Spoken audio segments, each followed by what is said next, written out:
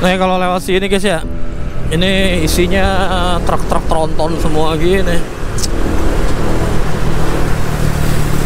Gile deh pokoknya.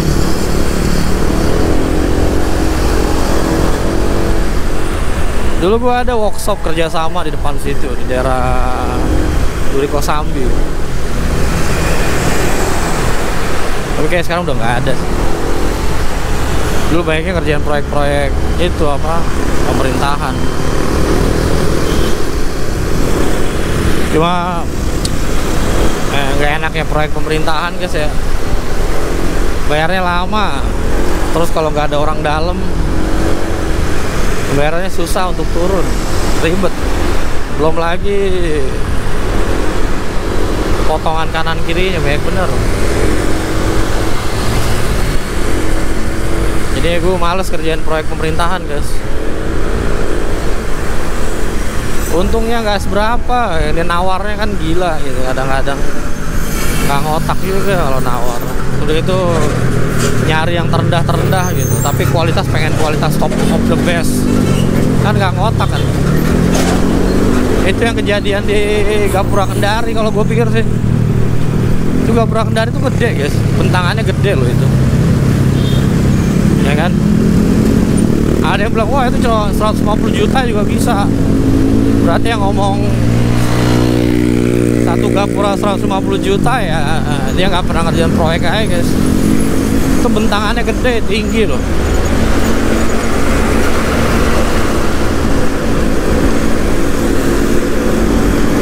Cuma emang total proyeknya yang sampai sekian puluh miliar itu emang agak-agak nggak ngotak juga sih. Tapi kalau gue curiga sih ya paling uangnya lari-lari ke ya pejabat setempat kan nggak mungkin dimakan sama kontraktor sendiri. Diaudit aja. Ditanya kontraktornya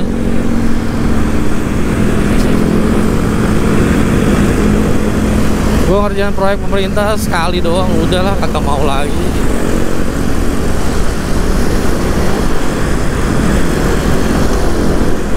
Ini ngerjain proyek-proyek swasta aja kayak swasta atau nggak perorangan.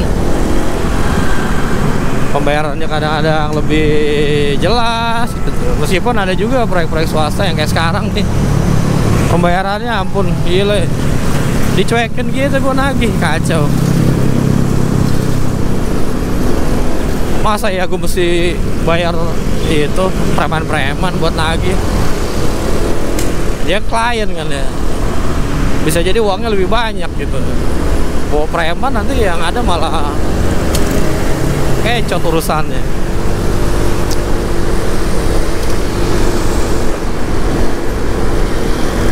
Ya begitulah guys proyek guys.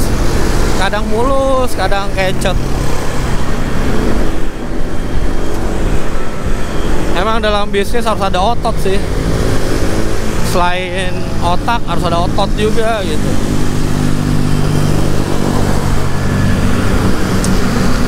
Nah kita udah sampai Cengkareng Barat guys. Cengkareng Barat. Ini Daerah tempat gue Besar. Gue gede di daerah sini tau Cengkareng Barat. Dulu nggak kayak gini guys. Dulu lebih rame nih pasar ini. Dulu di atas itu ya Ada ruko itu kan. Di atas ada tempat nyewaan ada nyewaan VCD kalau eh bukan VCD belum VCD waktu itu. Masih kaset video guys. Nyewa kaset video. Gue suka nyewa dulu situ.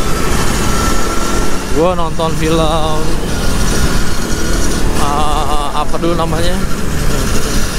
Eh, Zip It Again apa Zip Again apa kalau nggak salah terus film film-film lama deh film-film terus udah gitu film uh, airborne yang main apa main inline skate buset. Ya kalau di barat ya kayak gini guys. Mesti kuat-kuat mental aja bawa kendaraan ya guys. Kalau enggak ya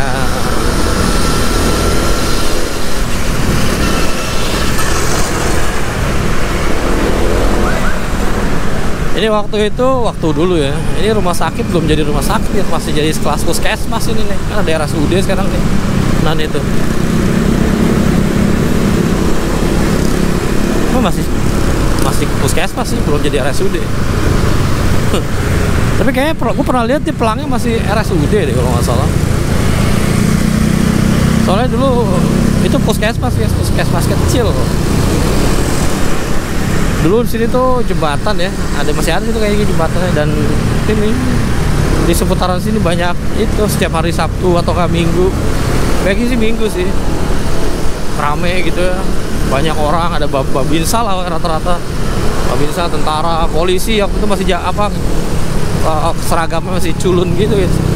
Coklat coklat lusuh gitu. Di sini pada ngangkat ngangkatin mayat. Banyak banget dulu tahun-tahun 80-an tahun awal-awal 90 masih ada ini.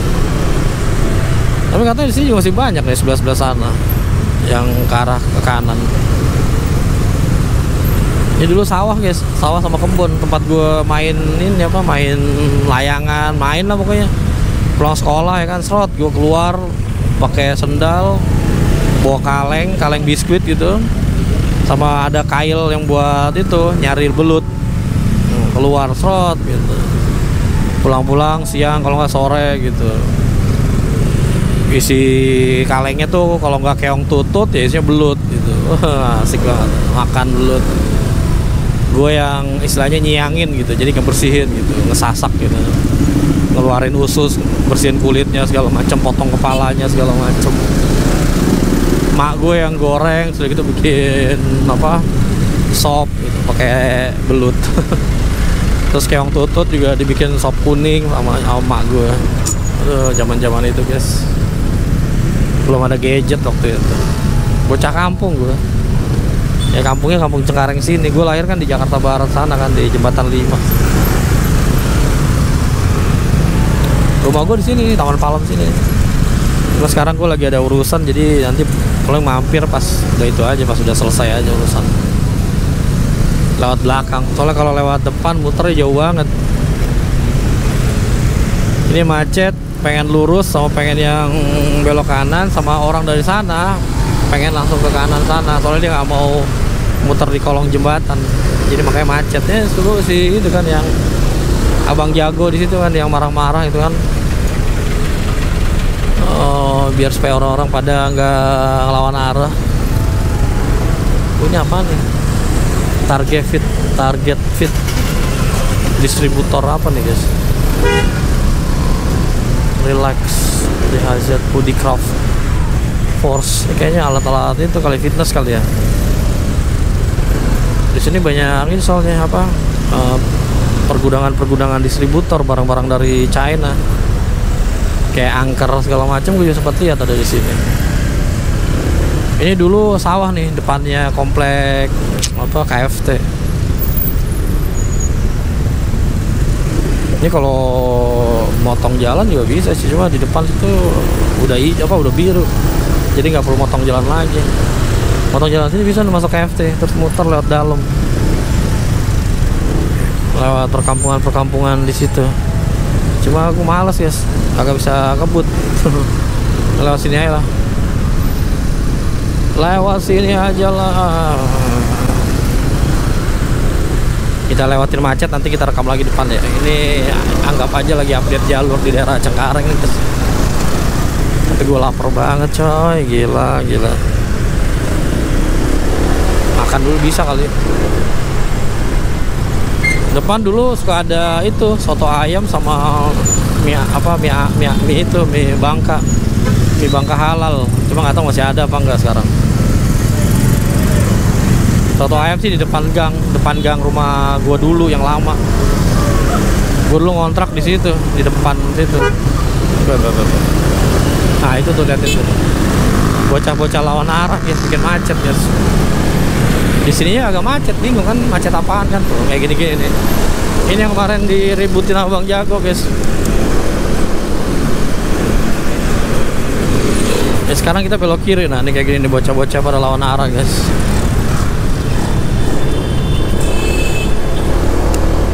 pada nggak itu nggak ngotak emang. Di sini sih lancar tuh lihat. Ini Jalan Kamal Raya kalau nggak salah ya. Masih Jalan Kamal Raya bukan? Ini bring back old memories ya soalnya gue jarang udah jarang lewat sini lagi dulu gue selalu masuk ke situ masuk ke Palem. Udah jarang gue lewat sini. Gila gila gila gila, gila.